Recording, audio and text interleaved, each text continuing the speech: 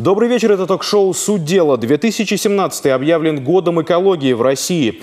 Буквально на этой неделе весь мир отметил День окружающей среды, а в нашей стране отмечали День эколога.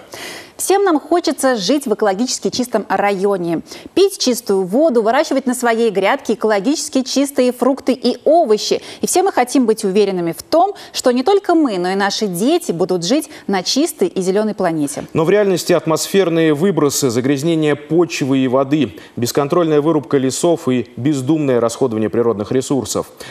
По опросам Всемирного фонда дикой природы и Левада-центра больше половины россиян считают, что состояние окружающей среды в нашей стране достаточно плачевное.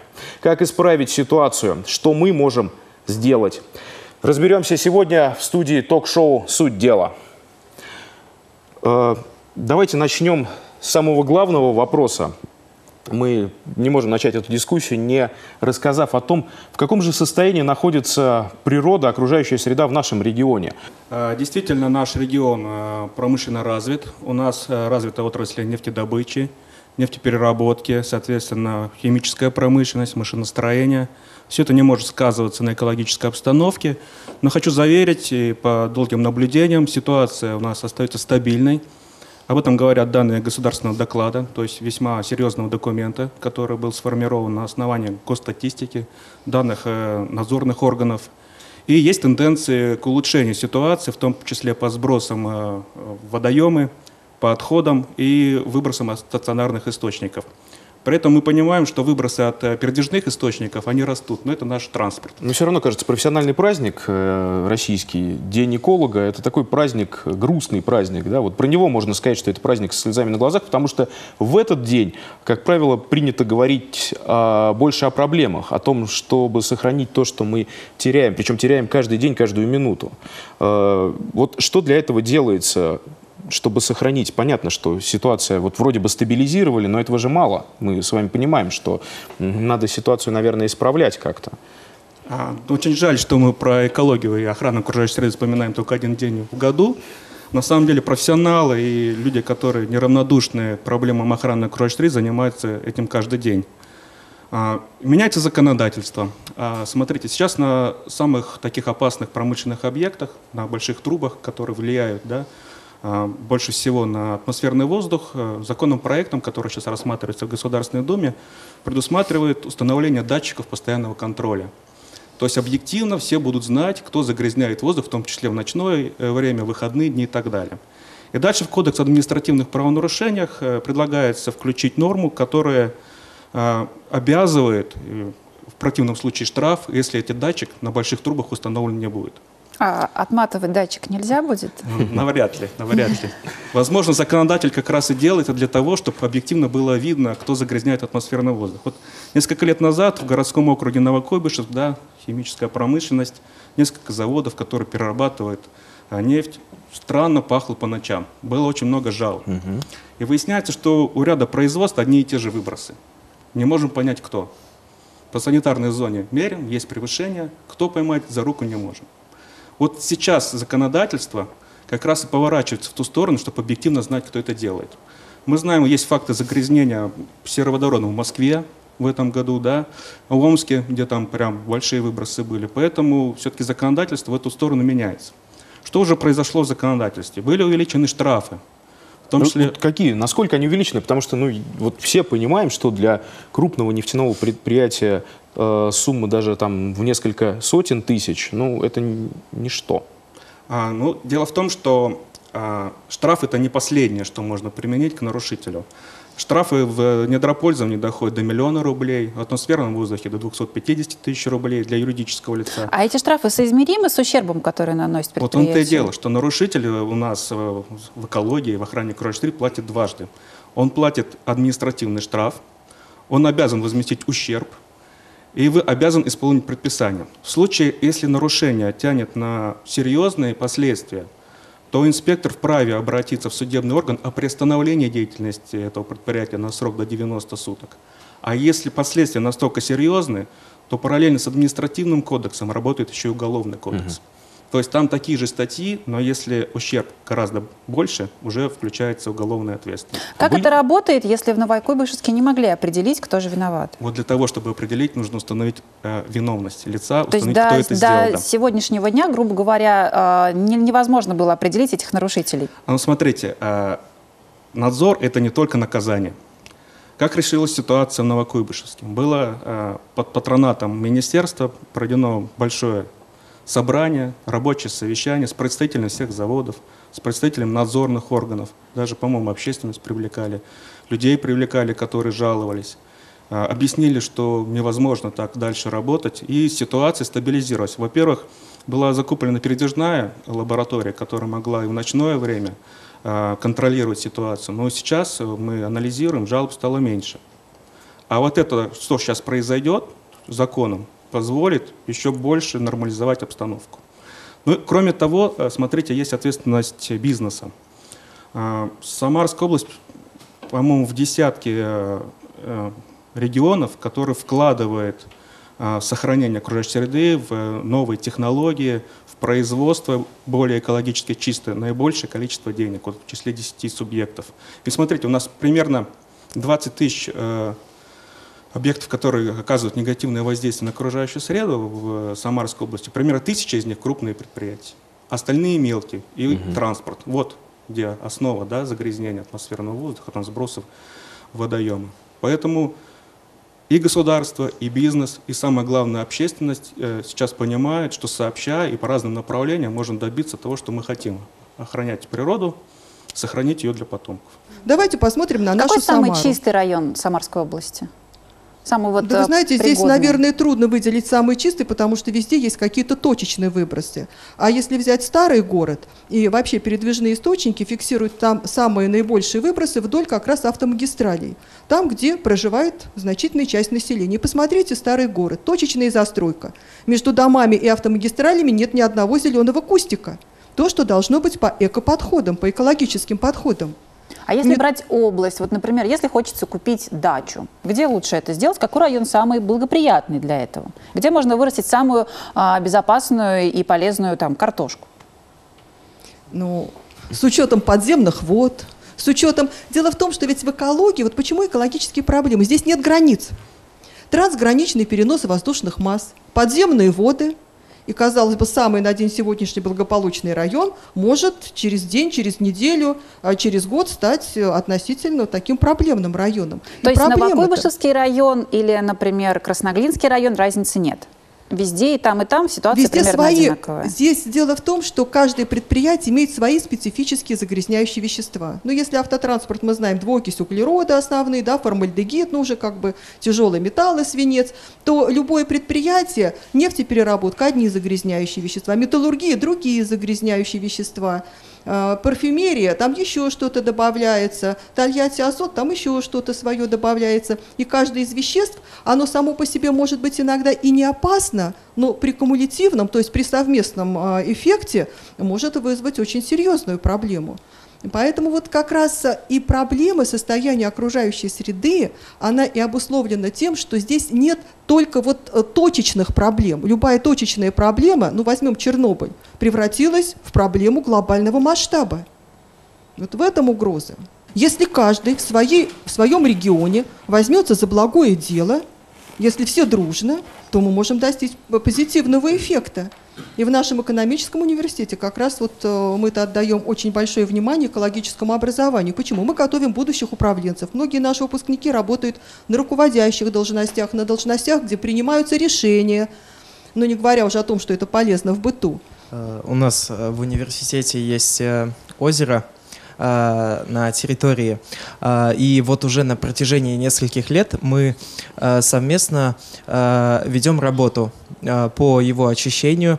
Э, Так совсем недавно мы запустили туда э, уточек э, и э, совместно с преподавателями и сотрудниками университета установили деревянные домики для уток. А нужно сказать то, что по свидетелям очевидцев, по Их показаниям, да. да, да, да.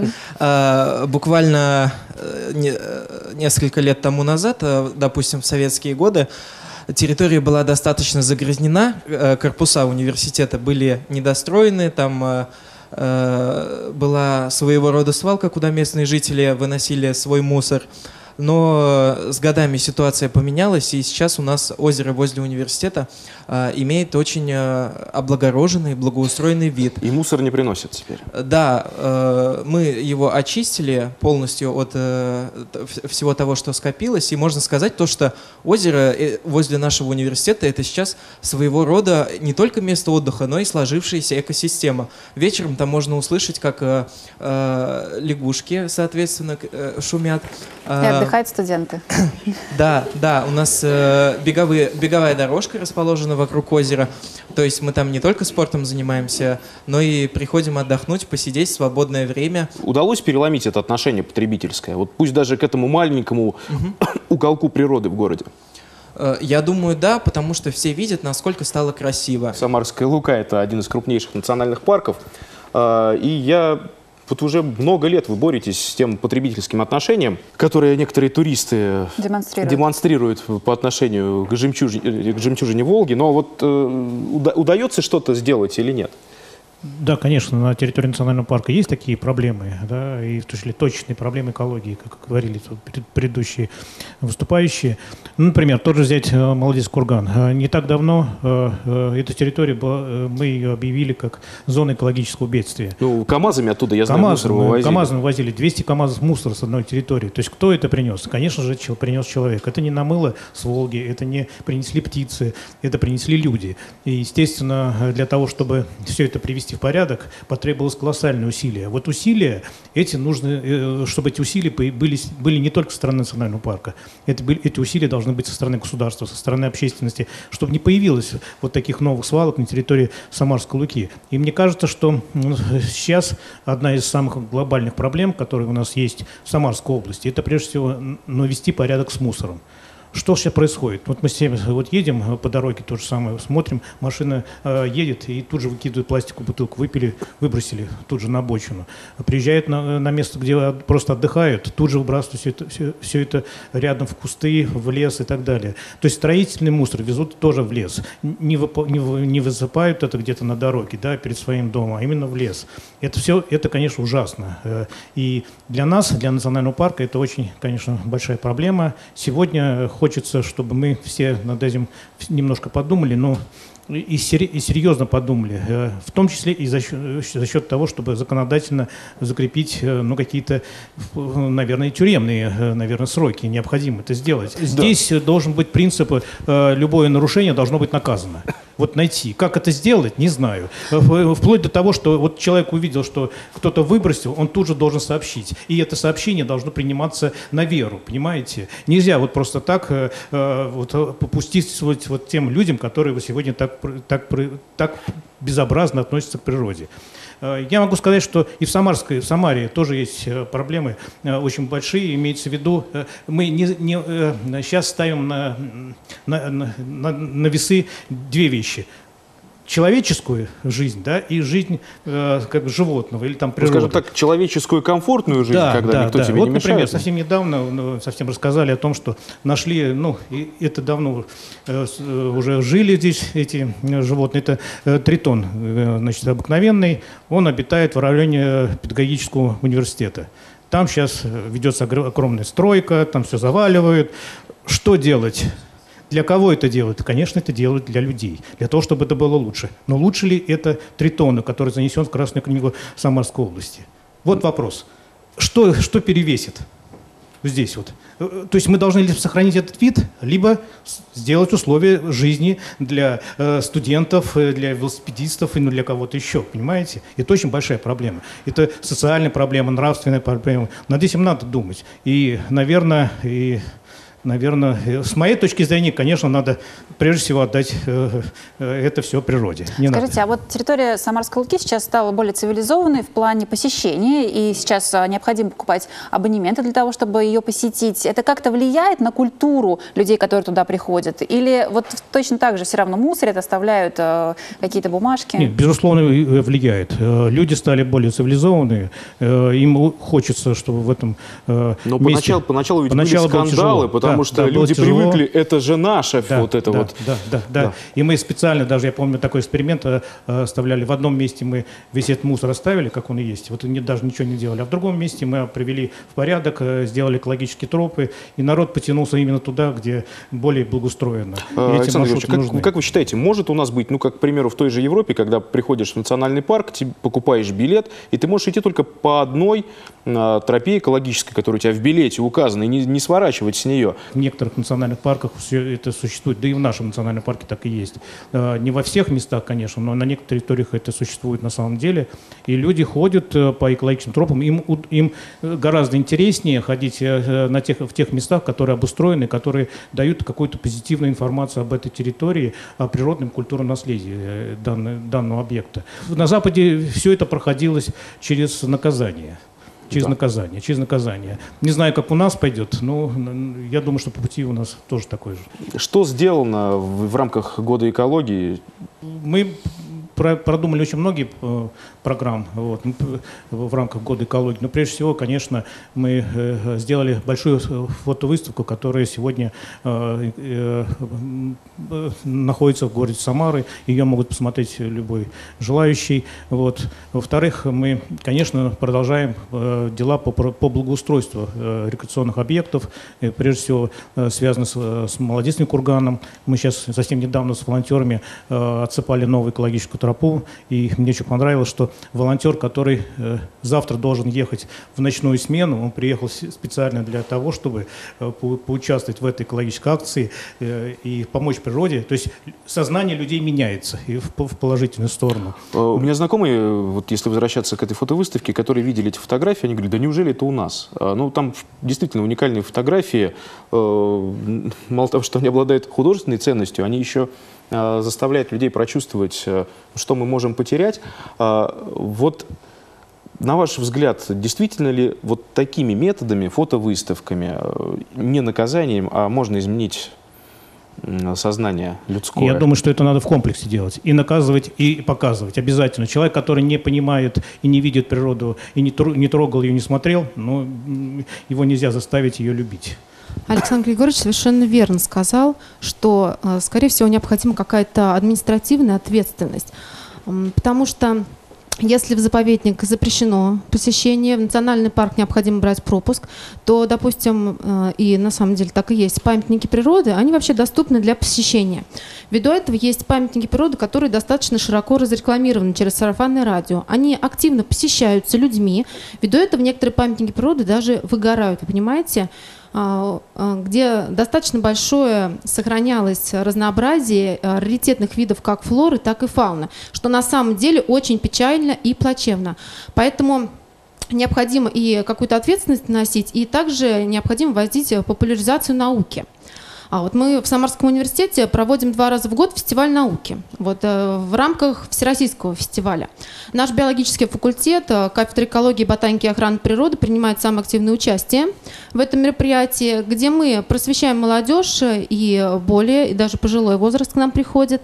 А, В сутки проходит примерно 2-3 тысячи человек, где мы рассказываем о уникальных этих объектах, о том, что необходимо сохранять, как необходимо себя вести, потому что, видимо, мало кто доносит это до людей. Рассказываем, что у нас есть насекомоядные растения, что у нас есть и болото, что у нас элементарно и ирисы, и тюльпаны, все это есть в природе. А не На что- получится ли так, что вот этот э, человек, который пришел и услышал все это, слушай, вчера про такое классное место слышал, давай на шашлыки туда съездим. Ведь Вот. часто так бывает. Пока и поэтому показываем фотографии, что было до и что было после. Вот говорим, вы понимаете, что с исчезновением одного вида ведется э, однозначное исчезновение еще нескольких. Вот, то есть люди понимают, говорят, да, да, мы там были, но вот больше мы так себя вести не будем, вот некоторые говорят. В будущем году, в 18-м, вообще юнатскому движению в России 100 лет. И на будущий год наша станция юнатов, Самарская, Самарский эколого-биологический центр, будет праздновать 90-летие. Поэтому это движение сейчас называется экологическим, а всегда оно было юнатским, и юнаты стояли у истоков. И вот сейчас наша задача, наверное, состоит как раз в том, чтобы воспитать вот из этих маленьких детей и будущих ученых, и будущих руководителей, и директоров заводов крупнейших, и президентов, они ведь всегда были детьми, начиналось это все с самого начала. И вот как раз и стоит задача в том, чтобы научить их, как правильно себя вести, как нужно делать так, чтобы потом нам страшные сценарии не грозили. Э, в год мы проводим более 50 областных мероприятий. И в рамках всероссийских мы являемся региональными представителями детского экологического движения «Зеленая планета». Э, победили и стали представителями территории экологической культуры. У нас э, в этом году прошел огромный форум. Приезжали со всей России к нам гости. И многие другие дела. Но не всегда, э, вы знаете, нужно вот такими крупные акции, это очень хорошо, и областные мероприятия. Но начинать всегда нужно с себя и самого маленького. Почему нужны вот такие учреждения, которые занимаются воспитанием экологической культуры? У нас э, комплекс уникальный построен был, где у нас есть и павильон животноводства, и э, растений очень много, и оранжерея, она маленькая, но она уникальная, где бананы плодоносят. Дети, городские дети, часто этого не видят, видят только все на экране мониторов своих. Это уникально, когда ребенок может вживую посмотреть, как выглядит павлин, как тот же, та же козочка выглядит. Даже иногда к нам из деревни на конкурсы приезжают из сельских местностей дети, они забыли, как выглядят, извините, лошади, как выглядят другие какие-то домашние животные. Вот именно тем, как вот и на национальном парке, действительно, это э, растения, животные – то, то есть, что мы, человек, это часть вот этой экологической цепочки. И если чем младше ребенок, тем он будет, наверное, отчетливее это осознавать на протяжении всей своей жизни. Совершенно верно, что вот и воспитывать людей надо с измольства, прям с молодых ногтей, и воспитывать ежедневно, и, так сказать, без надрыва, а вот вкладывать культуру общения. Зачем ты сломал вот этот кустик? Ну, он ведь вот вырабатывает кислород. Зачем ты поймал эту бабочку? Она у тебя сгнила в коробке в этой спичечной. Потому что многие начинали даже науку вот с этих спичечных коробок. Но речь-то сейчас идет, знаете, о чем? Совершенно верно. Как-то во время моего разговора с моим однокашником Юрием Константиновичем Рощевским, который сейчас работает в Институте экологии Волжского бассейна, э, он как-то ну, упрекнул меня в том, что вот мы муссируем излишне вот эту идею насчет сохранения краснокнижных видов. И он меня спросил, говорит, а вот ты знаешь, сколько сейчас у нас кряков? Нет, я не знаю, потому что я этим не интересовался. А вот надо бы поинтересоваться, а может быть их уже сейчас мало? Может быть, вот сейчас дают квоту на изъятие, там, на отстрел кряков, а может быть, их уже осталось столько, что их уже пора заповедовать и, так сказать, охранять. И я как-то прям проникся вот этой идеей, начал этим интересоваться, собирать материал. Но у нас сейчас другая проблема. Вы понимаете, у нас появились новые э, технологии обрезки деревьев. Ну ладно, вот срезали под корень, посадили новое дерево. Нет, оставили от 30-летнего или там 50-летнего дерева 10-метровый зачем-то ствол, без единого, не то что там веточки, без единой почки, без единого прыщика – Прилетайте птицы, мы всегда вам рады. Вот, пожалуйста. Кто там может загнездиться? Ну, только кроме ксилофагов, жуков, потребителей древесины, больше никто. Вы понимаете, какая проблема? В городе сейчас у нас поголовье птиц, если у нас на площади Куйбышева, вот в этих четырех скверах раньше гнездились две семьи чеглаков, мелких соколов, красивых очень и, кстати, полезных. Вот то сейчас, сейчас все это пилили, и там нет ни одной семьи. Вот раньше в окрестностях, в пределах студенческого городка нашего педагогического университета пело три пары соловьев. Но это было, правда, в 70-х годах. А сейчас нет ни одного.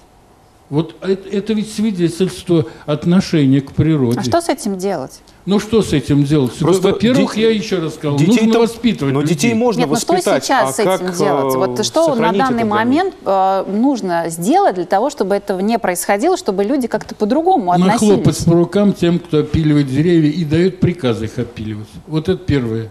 Вот с этого надо начать. И перестать опиливать. Вот тогда, наверное, у нас э, как-то изменится ситуация. По крайней мере, с птицами.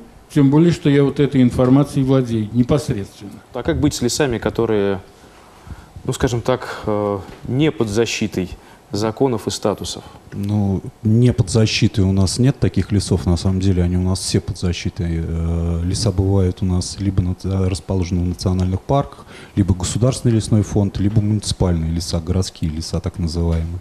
Вот. И у каждого леса есть э, своя ответственная структура, которая следит за санитарным состоянием, за то, чтобы там не было никаких правонарушений не происходило.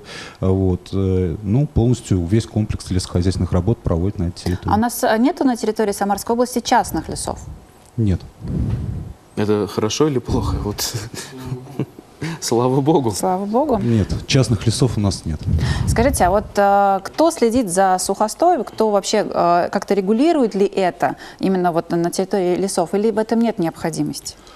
Э, Контролируют, следят э, в зависимости от э, того статуса лесов, которые они имеют. То есть, ну, на территории лесного фонда это, естественно, отвечает Министерство лесного хозяйства. А, а, Нами проводится леспатологическое обследование всей территории лесного фонда. Выявляются очаги а, как вредителей, то есть насекомых, выявляются очаги, где у нас идет усыхание лесных насаждений и назначаются соответствующие мероприятия. То есть э, вот сейчас у нас э, мы ждем хорошей погоды для того, чтобы провести авиационную обработку лесов в нескольких лесничествах, для того, чтобы уничтожить вредителя, а именно э, листовертку. Вот. э, Также в течение э, лесхозяйственного периода, то есть это в основном в вегетативный период, у нас проводятся санитарные рубки, уборка от захламленности территории, то есть это валежник убирается, складируется либо для дальнейшего перегнивания, либо с путем утилизации, то есть мы его сжигаем. Самая главная опасность это же не сухостой и даже не насекомые, наверное, для леса, а человек прежде всего. А, Каждому туристу, ну, любителю шашлыков, э, лесника не представишь. Э, Как вообще контролируется посещение лесов сейчас? И можно ли там шашлыки делать в лесу? год от года ужесточается э, мера наказания, э, ужесточается контроль за использованием э, лесов, э, вводятся новые ограничения и так далее. Но если посмотреть статистику, допустим, за последние два года да, по Самарской области, то а, количество пожаров а, по человеческому так называемому фактору у нас не сократилось. А, Вот. И мы, это не, э, не зависит э, от того, что плохо ли э, отработал национальный парк или плохо отработали лесники. Это в первую очередь говорит о чем? О том, о чем все мы здесь присутствующие говорили. Это очень низкий уровень экологического образования, очень потребительское отношение людей к природе люди даже не э, задумываются о том, э, что за, может повлечь за собой то действие или бездействие, которое они совершают, в том числе и шашлыки. А по поводу охраны лесов, ну, наверное, мы один из э, нем- немногих субъектов на территории Российской Федерации, которые столько сил и столько финансов вложили именно в безопасность лесов. У нас практически А как обеспечивается безопасность вот леса? я сейчас хотела об этом поподробнее. А, У нас э, целая как бы сеть государственных лесных инспекторов, которая работает э, так скажем, в круглосуточном режиме, в круглогодичном режиме на территории области. Это порядка 400 человек. А Что они делают? А, ну, в первую очередь патрулируют. То есть э, у нас э, министром утверждены маршруты патрулирования, которые, э, в которых отражены самые болезненные, самые такие наиболее посещаемые зоны лесов, где наибольшее количество происшествий, нар- правонарушений происходит и так далее. Ну, Это, наверное, леса, Э, которые ближе всего к населенным пунктам, Конечно, крупным. в первую очередь. А, Вот. И, э, соответственно, нашими силами, силами лесничих э, проводится мониторинг этих территорий на предмет разъяснения либо выявления и пресечения правонарушений. Это вот как бы первая такая превентивная мера. А что будет тому, кто разводит костер в неположенном месте? В лесу? Ну, в первую очередь, конечно, штраф. Какой? Сколько? Э, Для граждан от 2 до 5 тысяч рублей. Ну, это наверное, небольшие деньги на самом деле, но э, у нас в природоохранном законодательстве действительно все не ограничивается штрафами, еще имеется ущерб. Вот. И, соответственно, от э, размера костра, иных э, как бы сопутствующих факторов рассчитывается определенный ущерб и возмещается с правонарушителя. Вот. Еще один такой момент, очень хотелось бы его, на него заострить внимание. В этом году произошли очень серьезные изменения по недопущению граждан в леса э, в условиях особого противопожарного режима. То есть э, до этого а, момента закон был не особо урегулирован, и в каждом субъекте Российской Федерации а, эти ограничения вводились, а, ну, как бы на, каждого на свое усмотрение. Сейчас все это четко регламентировано, и при наступлении четвертого класса пожарной опасности, то есть леса для посещения граждан, проезда в них транспортных средств, а также отдельных видов работ запрещены. Как запретить, как закрыть въезд в лес? Вот э, э, этим законом также нам прописано, то есть у нас будут организованы стационарные посты, э, будут вывешены информационные блоки, стенды, в связи с чем, на основании чего и в какой период времени пребывание граждан в этом лесном массиве у нас запрещено. И эти стационарные посты будут действовать в период до 20 дней. На мой взгляд, чтобы изменить это потребительское отношение к природе, необходимо привлекать к этой проблеме именно молодежь и студенчество, чтобы помощь природе стала действительно модной и популярной тенденцией. Мы проводим массовые экологические мероприятия, ну вот, например, региональный экологический карнавал. И не раз со стороны э, общественности экологически активно настроенные обвиняют, обвиняли нас в том, что э, карнавал – это пир во время чумы. То есть все плохо, а вы празднуете. Что вы празднуете, зачем вы празднуете? Вот э, я категорически считаю, что это неправильный подход. Я считаю, что э, любое дело можно сделать путем маленьких шажков, но нужно делать что-то позитивное и ни в коем случае не негативное. То есть только ругать, только рисовать страшные картины – это вообще ни о чем. Тем более, что нашу молодежь страшными картинами не испугаешь. Они э, и боевики смотрят, и фильмы ужасов смотрят, и их вот этими вот нашими картинами о том, как выброшена э, рыба на берег, не всегда испугаешь. А в то же время, если они подключаются к какому-то делу, если они понимают, что это, а, ну, не, не так, скажем, чтобы модно, но что это интересно, востребовано, что, ну, в общем-то, да, в общем-то, в какой-то степени модно, ничего в этом страшного нет. А, и мы наблюдаем уже на протяжении десятков лет о том, как интерес молодежи вот благодаря этим мероприятиям, праздничным мероприятиям, не печальным, а, он возрастает. Вот с 2000 года у нас э, конкурс «Эко-лидер», Зарождался он вообще как э, ну, очень такое кулуарное мероприятие. На странице газеты «Живая вода» был объявлен конкурс, там было три номинации – предприятие, а, муниципальное образование и личность. 17 участников было. Количество номинаций возник, э, в данный момент составляет 11, и причем эти номинации, они не по инициативе организаторов, их количество растет, а по инициативе именно жителей предприятий, организаций области. Количество участников с каждым годом растет. Нам приносят такие вот, знаете, портфолио, в которых э, прекрасные фотографии. То есть мы вообще, э, честно говоря, вдохновляемся каждый год и считаем, что действительно делаются дела, и дело движется вперед. Посмотрите на школу. Сейчас тоже очень модно научно-техническое творчество, IT-технологии. Экология, опять-таки, как наука да, в школьном образовании, осталась в стороне. И это, конечно, в свою очередь сказывается вот на таком негативном потребительском отношении э, к природе. Но с другой стороны, я могу сказать, что в настоящее время все-таки молодежь стала более экологически ответственная. Э, вот идешь иногда по улице, да, смотришь, раньше там мороженое съел, обертку тут же выкинул. Многие, я смотрю, берут, держат, да, несут до ближайшей урны. Это действительно стало видно. И вот за это, э, скажем так, современному поколению, ну, у меня, наверное, есть такая благодарность, потому что это видно. Центр детского творчества «Ирбис» города Самары э, с 2016 года реализует большой городской инновационный проект э, «Дети плюс взрослые. Создание экопространства». Мы создаем семейные эколого-туристические клубы при образовательных учреждениях.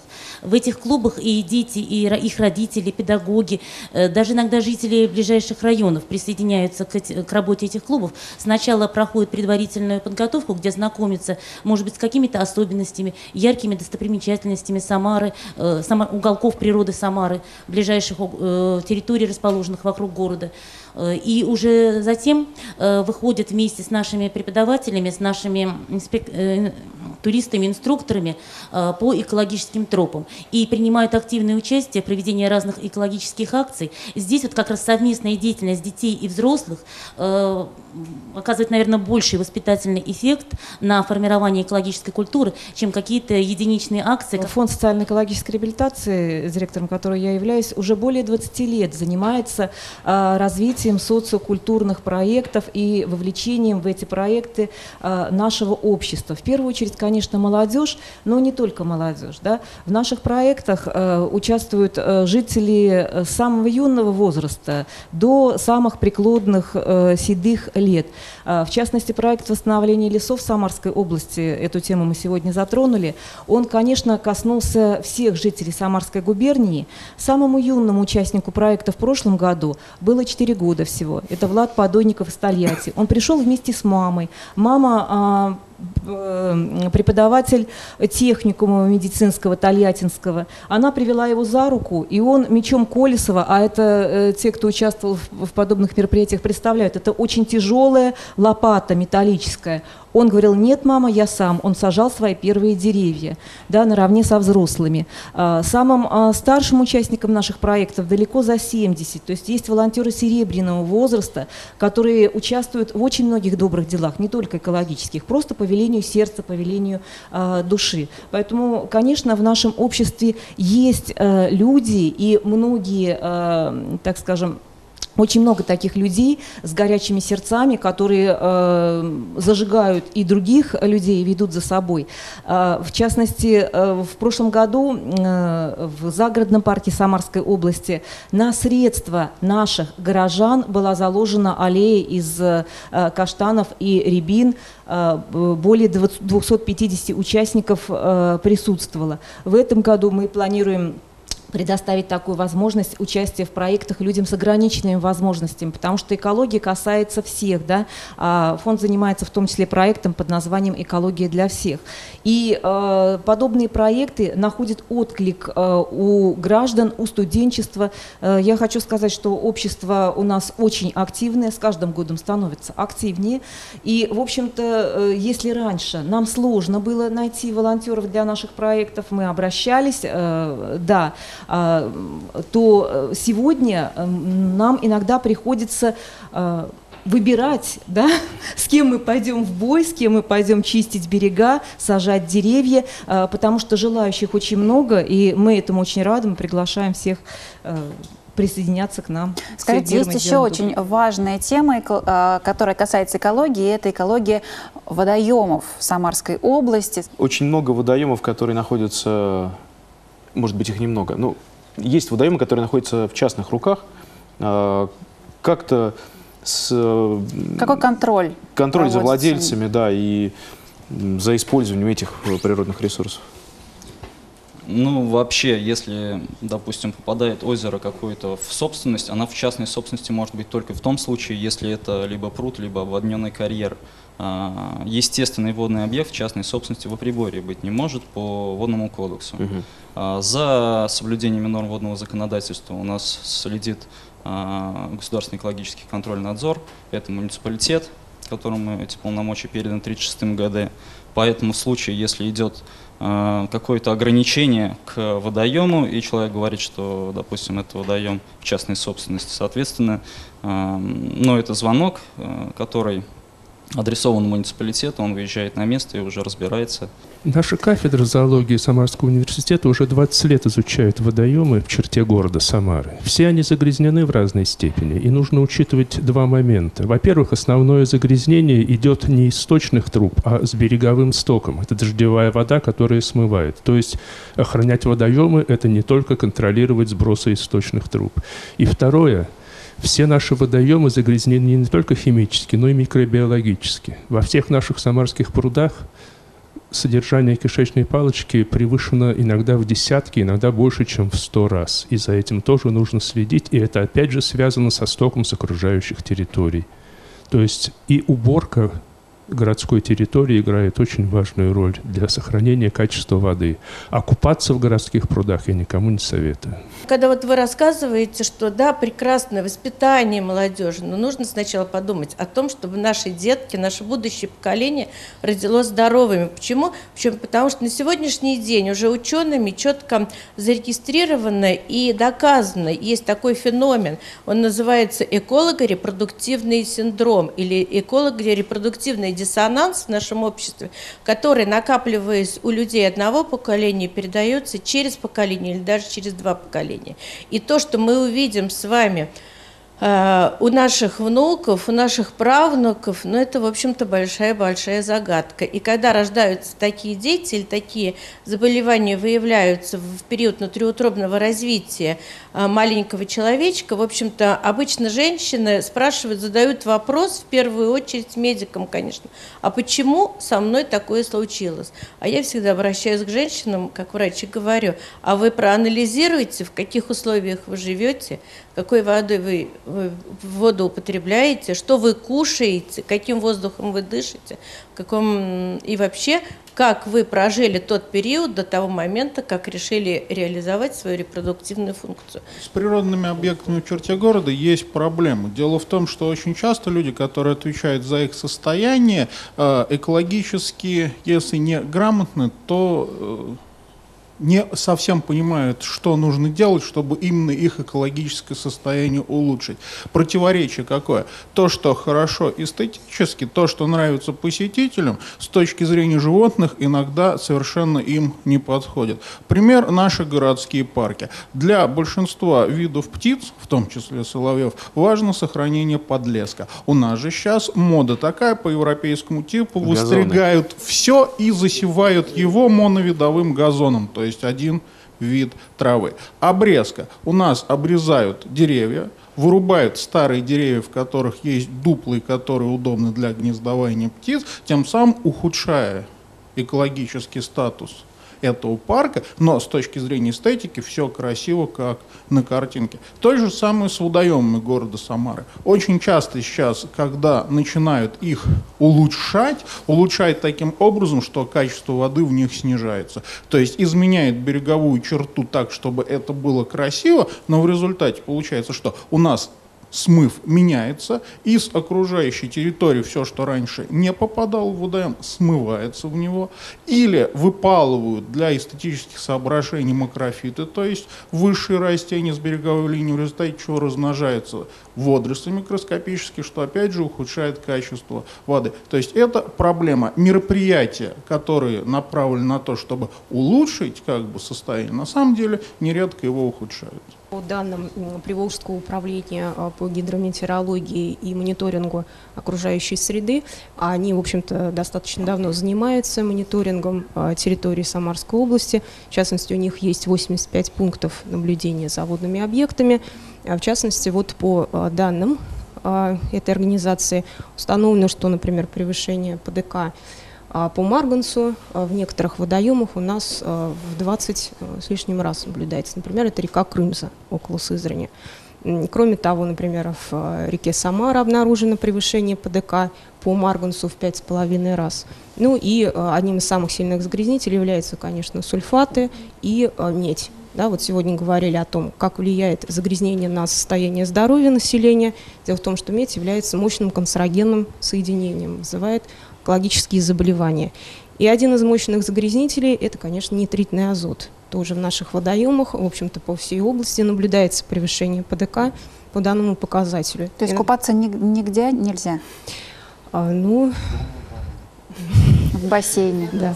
И кроме того, какая проблема существует с нитритным азотом, он вызывает процесс эвтрофикации. То есть цветение воды мы все наблюдаем летний период, особенно в июле месяце, когда температура становится достаточно оптимальной для э, развития водорослей. И, собственно говоря, мы наблюдаем процесс э, цветения воды. Он вызван как раз вот содержанием, превышением ПДК именно нитритного азота.